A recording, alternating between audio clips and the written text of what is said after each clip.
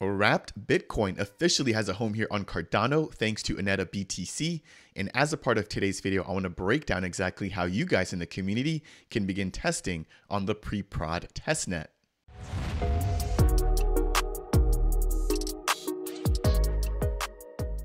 What is going on, ADA Nation? Welcome back to the official Dapp Central YouTube channel. My name is Fareed, and in today's video, I'm super fired up to share here with you guys that we now have the ability to mint or wrap and unwrap Bitcoin, not only on Cardano, but as well as on the Ergo networks. Now, if it's your first time hearing about Aneta BTC, they're going to be a protocol, as I mentioned, allowing for users to wrap and unwrap Bitcoin with a click of a few buttons. They're going to be taking a secure and private approach using a research driven method. That said, as a part of today's video, what I want to do is talk to you guys about how you guys can get access to a Bitcoin wallet, jump on the Bitcoin testnet, as well as actually get access to test Bitcoin. And then once we have that, we're going to take a look at the Aneta BTC protocol, connect our wallet, and then actually walk through the process of making a transaction in which we'll be wrapping Bitcoin and then doing the opposite, unwrapping our assets. That said, if it's your first time stopping by here on the channel, my goal is to provide you guys in the community here with the latest news tutorials and reviews. If you guys find this particular video to be helpful or insightful in any way, shape, or form, I would really appreciate it if you guys could tap that like button. If it's your first time stopping by and you want more content just like this, consider subscribing. And if you have any questions for me about anything that we're going to be chatting about today, then make sure to leave a comment down below. In closing, I am a single stake pool operator operating the official Dapp Central stake pool. If you want to support me here on my mission to educate the broader Cardano community, then consider delegating with the official Dapp Central stake pool pool, which is stake pool ticker DAPP. Again, I appreciate you guys showing me all of the support throughout the last couple of months. Jumping back over into the official website here for Aneta BTC, if you guys want to get access to their official testnet, you can head over to app.anetabtc.io. Now, a few things to keep in mind here before we jump into this tutorial is that they're not currently live on the main net. So once you access the website, you can confirm which network you're on by looking here at the left-hand corner. So right now, as you guys can see, I am currently on the testnet and it's actually going to be the pre-prod testnet. And I'm going to show you guys how you guys can get connected to that testnet here in just a moment.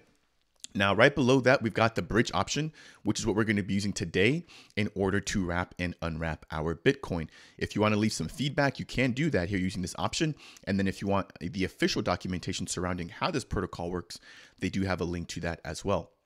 So once we get here, you will notice that right now I'm connected to the Cardano testnet. They also have an Ergo testnet, but for now we're going to be focusing strictly on Cardano. The first thing we need to do is go ahead and actually make sure we're on the pre-prod testnet before we connect our wallet. So I've got my Nami wallet here that I'm currently using. And as you guys can see, I'm already connected to the pre-prod testnet. And I've already walked through the process of actually creating some CBTC already. So keep that in mind. This is going to be my second transaction here using the Aneta BTC protocol. That said, in order to actually connect to the pre-prod testnet, you're going to click on your icon here, go down to settings, and then select network. And instead of actually using mainnet, all you need to do is go ahead and select pre-prod. So I've already done that. I'm going to jump back over here and we're going to go ahead and just close out of our wallet. Now we're going to connect to the actual uh, protocol. So I'm just going to click on connect wallet.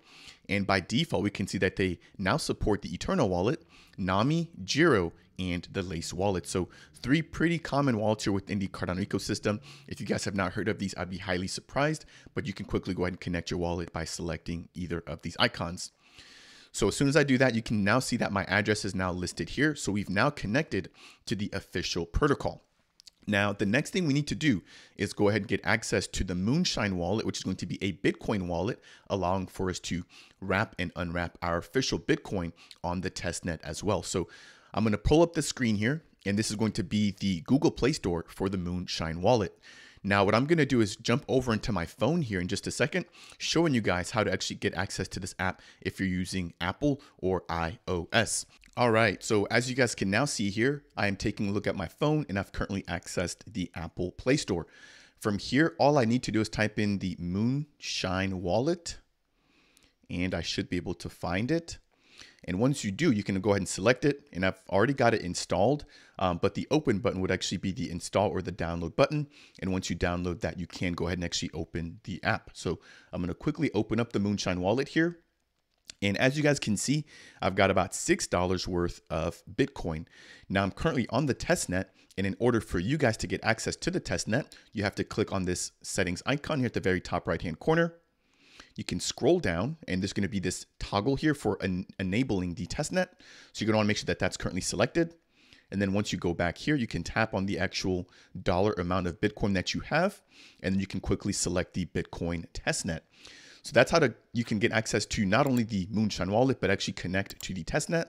And once we've done that, you're going to want to head over to the Bitcoin Faucet website. So I've already gotten my receiving address, but in order to get that, I can just click on receive here and I can just copy this address listed there. So once that is copied over, you can now head over onto the official Bitcoin testnet faucet in order to begin receiving Bitcoin. So I'm going to share my other screen here with you guys.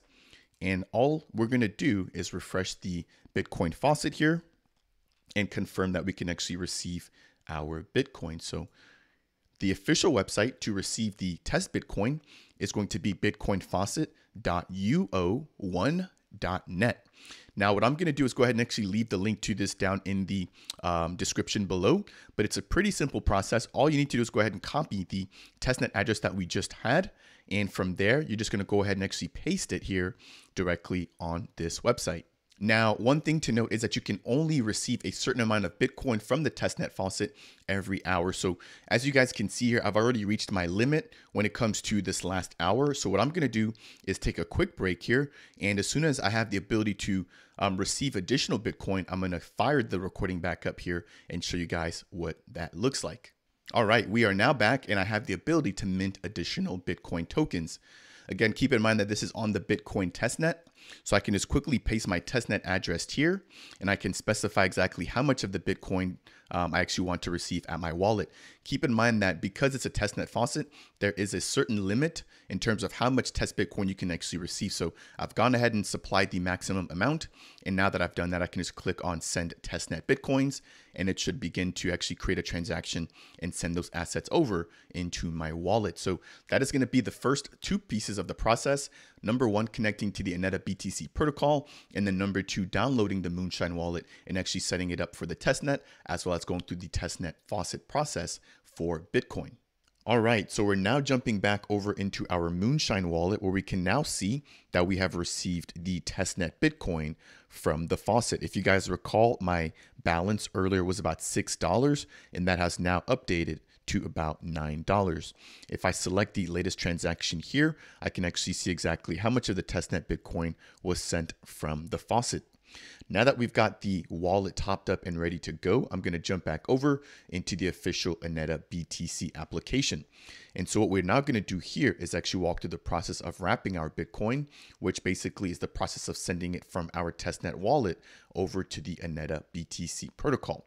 Now that we're ready to go, the first thing I need to do is provide how much of the wrapped Bitcoin token I want to receive within my Cardano wallet. So I'm going to type that value in here. And as you guys will notice, I can now see my bridge fee, which is going to be 1% of the total value of Bitcoin that I'm going to wrap. Right below that, I have the total amount in terms of CBTC that I'm going to receive within my Cardano wallet. Next, I'm going to click on Wrap BTC, and I'm now going to be presented with a pop-up here providing me with additional instructions. So it reads here, I can add my payment credentials within the message section of the Moonshine wallet before sending it as a deposit. So this is going to be the message right here that I'm going to provide within my transaction. And then right below that, I have the actual Bitcoin address that I need to send my Bitcoin to in order for this to get processed. So I'm going to switch over into my wallet now, or into my phone, excuse me, and we're going to walk through that process of creating that transaction. So from the actual Moonshine wallet, I'm going to go ahead and click on send. And then within the address field, I'm going to go ahead and provide the Bitcoin address. And then within the message field, I'm going to provide the testnet address here provided as my payment credential that we just saw there from the Aneta BTC protocol. Now that I have the address as well as the optional message fields filled out, I'm going to provide exactly how much of the testnet Bitcoins I want to send over to the Aneta BTC protocol.